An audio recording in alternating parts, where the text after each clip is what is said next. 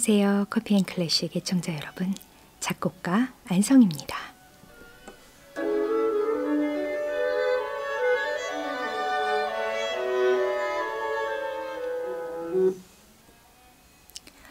벌써 11월의 끝자락입니다. 차가워지는 바람이 겨울을 더 재촉하는 듯 하네요. 밤에는 굉장히 추운 날씨입니다. 조금 더 지나면 완연한 겨울로 자리를 잡을 것 같아요. 겨울에는 괜스레 마음이 싱숭생숭해지는 그런 느낌이 있습니다. 한 해의 마무리와 다음 해의 시작이 다가와서 그런지 설렘도 가득한 것 같아요. 11월의 마지막이 행복한 겨울로 이어지기를 소망합니다.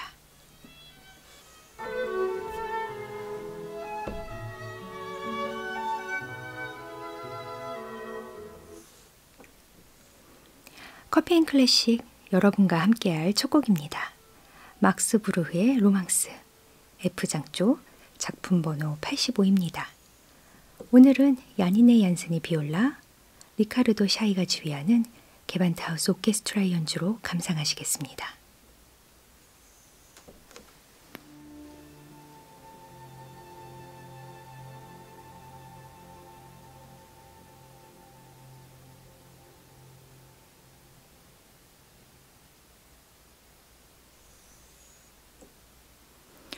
브루의 로망스 F장조 작품 번호 85였습니다. 야니네 얀센의 비올라, 리카르도 샤이가 지휘한 개반트하우스 오케스트라 연주로 감상하셨습니다. 많은 국내 성악가들이 한국 가곡의 아름다움을 전하기 위해 노력하고 있는데요. 소프라노 이혜원도 꾸준한 음원 발표로 한국 가곡의 대중화를 위해 활발히 활동하고 있습니다. 감상하실 곡 이원주의 연을 소프라노 이혜원, 윤여운의 첼로 연주로 감상하시겠습니다.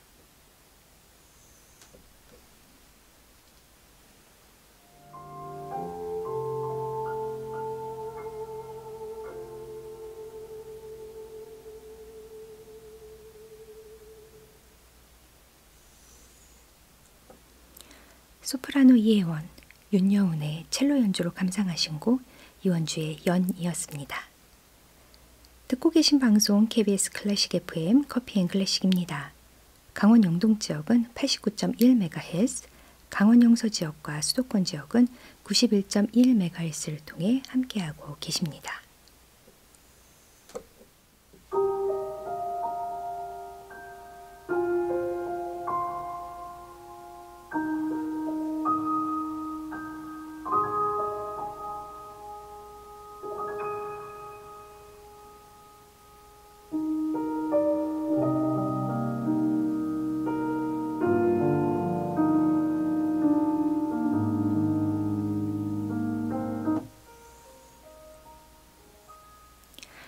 작곡가 안성희의 영화음악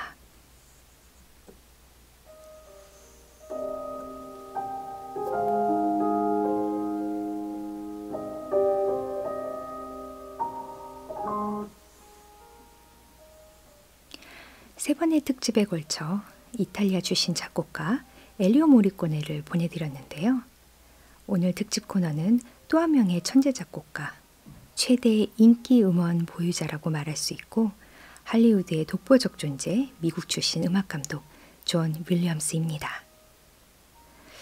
과거 천재 작곡가 하면 모차르트를 떠올렸다면 20세기를 통틀어 천재 작곡가 하면 이분의 이름을 언급해야 할것 같습니다. 많은 후배 작곡가들에게 영화 음악에 큰 꿈을 갖게 했던 살아있는 전설이죠. 정말 다량의 영화에 참여했고 거의 모든 영화의 오리지널 사운드 트랙이 정상을 차지했어요. 예를 들어 볼게요. 다 아실 거예요. 스타워즈, 슈퍼맨, 나홀로 집에, 주라기 공원, 해리포터 등등 막 멜로디가 머릿속에서 떠오르지 않으시나요? 엄청납니다. 아껴서 소개해드려야 하는 음원 부자 존 윌리엄스가 참여한 영화 작품 중 오늘 저의 인생 영화 스티븐 스필버그 감독과 함께한 조스, 이티, 인디애나 존스, 쉰들러 리스트 4편을 준비했습니다. 첫 작품은 1975년 개봉작 조스입니다. 저는 어렸을 때 가슴을 졸이며 본 기억이 있어요. 제가 1979년생인데요. 당시 여름에 자주 여름방학 특선으로 방영되었던 기억이 있습니다. 저는 그 당시 바다에는 들어갈 수 없었어요. 그런 기억도 있어요. 48년이 흐른 지금도 모두가 기억하고 있는 그 선율입니다. 이 작품은 1975년도에 개봉했는데 어떻게 그 당시 이런 연출을 했는지 정말 놀랐습니다. 상어가 출몰했을 때그 긴박감은 이루 말을 할수 없었는데요. 존 윌리엄스의 조스 테마 음악으로 인해 심장은 더 빠르게 요동쳤어요. 롯땡제과 상어 아이스크림 있잖아요. 원래는 더그 색소 때문에 시커멓고 속은 딸, 속에 그 딸기는 더 빨갛고 그랬거든요. 이 유명한 아이스바는 영화 조스를 모티브로 하고 있다고 하는데요. 영화의 인기와 여름, 바다, 이 단어를 소재로 모티브를 얻어서 첫 출시 이래 지금까지 연간 150억 매출을 올리고 있는 효자 상품이라고 합니다. 갑자기 겨울인데 먹고 싶네요. 오리지널 사운드 트랙을 들으실 텐데 미, 파. 이두 음이 이렇게 소름 끼치게 무서운 음일 줄은 몰랐습니다. 신기할 따름인데요. 첫 곡으로 겨울에 듣는 조스 테마. 콘스탄티노 마르티네즈 오르츠가 지휘하는 필름 심포니 오케스트라의 실황 연주로 감상하시겠습니다.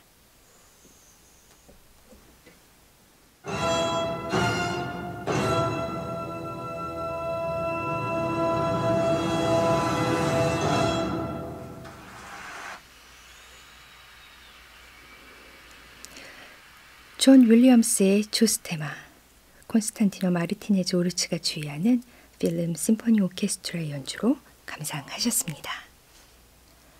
두 번째 작품은 83년도 작품이에요. E.T.입니다. 식빵같이 생긴 지구 밖의 외계인과 지구인 악동들의 우정을 담은 이야기였습니다. 명장면이 너무 많은 영화예요. 둥근 보름달이 떴을 때 바구니에 이티를 태우고 달리던 자전거가 하늘 위로 날아오르잖아요. 그리고 마지막 장면이었어요. 이티와 지구소년이 손가락을 마주대며 작별 인사를 했던 장면도 지금까지 패러디되는 명장면입니다. 우주 생명체가 저렇게 작고 귀엽고 그럴 수 있다는 것에 가슴 따뜻하게 했던 영화였습니다. 스필버그 감독과 작곡가 존 윌리엄스가 환상의 짝꿍으로 만든 영화였습니다. 영상과 함께 펼쳐진 신비로운 오케스트라 사운드는 당시 어린 저에게도 큰 꿈과 환상을 품게 해주, 해주었던 작품입니다. 두 번째 곡 Flying Theme 커피앤클래식 청취자 여러분들과 함께 감상하도록 하겠습니다. 루드비 비키가 지휘하는 덴마크 내셔널 심포니 오케스트라의 연주입니다.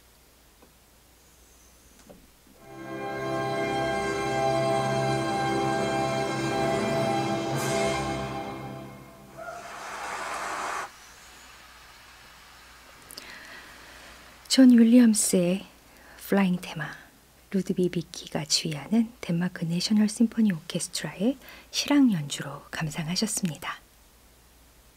세 번째로 만나볼 음악입니다. 저는 일상을 버리고 여행을 떠날 때 자주 흥얼거리는 멜로디예요. 특히 등산을 할때 있잖아요. 약간 제가 모험을 한다는 생각이 들때 저절로 이 멜로디가 입에서 흥얼거리게 되는 환상적인 멜로디입니다.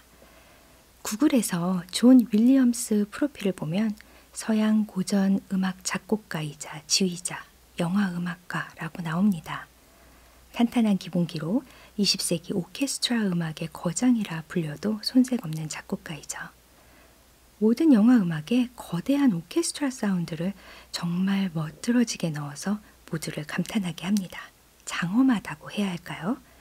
인디애나 존스는 고고학을 소재로 보물을 찾는 영화입니다. 시리즈로 제작될 만큼 아주 엄청난 인기몰이를 했던 작품입니다. 인디애나 존스 5편이 어, 2023년 올해 6월에 개봉하기도 했었어요. 2020년부터 개봉일을 미루다 올해 돌아온 인디애나 존스. 해리슨 포드가 늘 그랬듯 주인공을 맡았죠. 벌써 해리슨 포드가 80세예요. 할아버지 고고학자의 영민한 보물찾기를 흥미롭게 관람했었습니다. 인디애나 존스 하면 인디애나 존스 테마송을 들어야겠죠.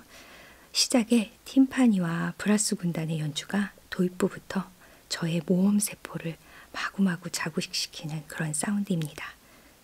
존 윌리엄스의 레이더스 행진, 인디애나 존스 잃어버린 방주 중에서 존 윌리엄스가 직접 지휘하고 베를린 필하모닉 어, 오케스트라가 연주하는 음원으로 감상하도록 하겠습니다.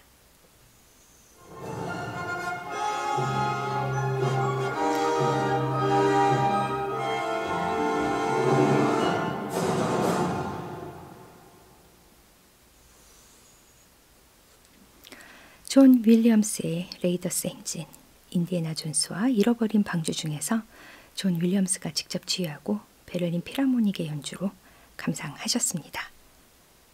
오늘은 두 천재 거장, 영화감독 스티븐 스필버그와 그리고 영화음악에서의 거장이죠. 존 윌리엄스와 함께하고 있습니다. 마지막 작품은 1993년 개봉작 쉰들러 리스트입니다. 1939년을 배경으로 하고 있고 오스트레일리아의 그 토마스 케닐리의 논픽션 원작 소설을 영화한 작품입니다. 1100명의 폴란드 유대인의 목숨을 구한 나치 사업가 오스카 쉰들러에 관한 이야기죠. 당시 어, 작품이 개봉되고 나서 아카데미 작품상, 음악상, 감독상, 촬영상, 미술상, 편집상, 각색상 등 거의 모든 아카데미를 휩쓸었다고 해도 과언이 아닌 영화였습니다. 존 윌리엄스의 쉰들러 리스트 오리지널 사운드 트랙은 어, 이작 펄만의 바이올리니스트가 연주를 했는데요. 오늘 어, 이작 펄만의 바이올린 보스턴 심포니 오케스트라의 오리지널 사운드 트랙으로 감상하며 영화 음악 존 윌리엄스 특집을 마치도록 하겠습니다. 함께 감상하시겠습니다.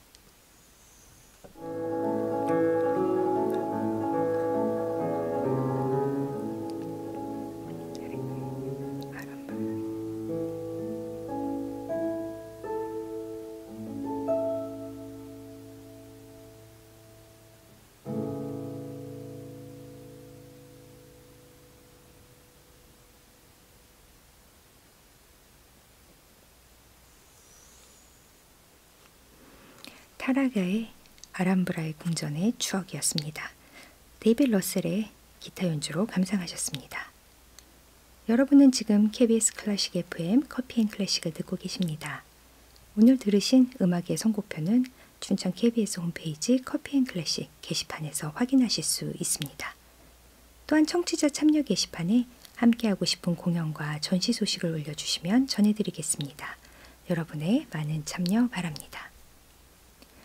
우리 지역에서 펼쳐지는 공연 소식과 전시 소식을 전해드립니다. 먼저 공연 소식입니다. 2023 신나는 오케스트라 제14회 정기연주회가 12월 1일 금요일 저녁 7시 반 춘천문화예술회관에서 진행됩니다. 춘천 시립국악단 특별공연 춘천의 사나 연주회가 12월 1일 금요일 오후 5시 축제극장 몸짓에서 진행됩니다. 이어서 전시 소식 전해드립니다. 조은경 작가 개인전이 11월 30일 목요일까지 정선 그린바위 예술발전소에서 진행됩니다. 평창 리사이클 스토리 2023 전시회가 11월 30일 목요일까지 평창군 진부 문화예술 창작 스튜디오에서 진행됩니다. 커피앤 클래식 내일은 주간 리뷰로 신나는 오케스트라 제14회 정기연주회 소프라노 박성희의 독창회, 제7회 안단테 흰여울 합창단 정기연주회가 예정되어 있으니 애청자 여러분들의 많은 관심 부탁드립니다. 11월 30일 목요일 커피앤클래식 오늘의 끝곡입니다.